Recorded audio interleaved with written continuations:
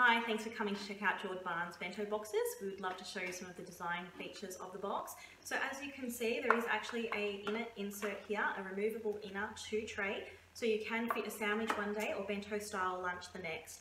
Throughout Jordbarn's product range, there are a number of learnings and discussion points you can have with your children.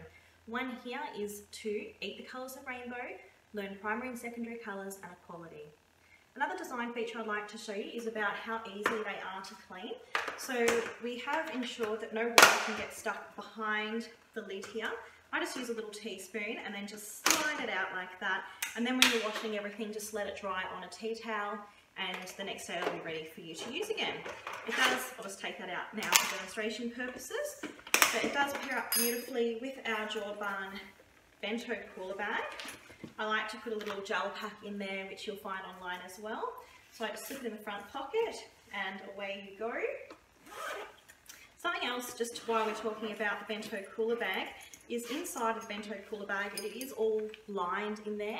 So you can see it's easy to wipe out. So you can pop a spoon in there and if it comes back dirty, it is really easy to clean, which we all know these can get a bit yucky after a while. So I'd like to show you some lunches that I've prepared.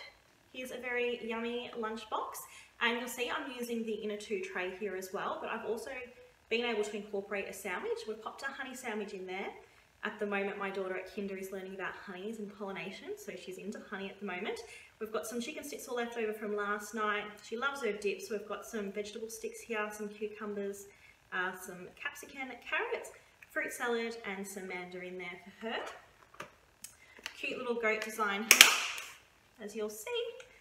And here is a bento box using the sandwich option. So I have fit a whole entire sandwich with crusts and all there.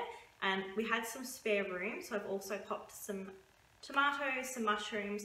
We've also got the fruit salad, some nice little fruit biscuits and some dip.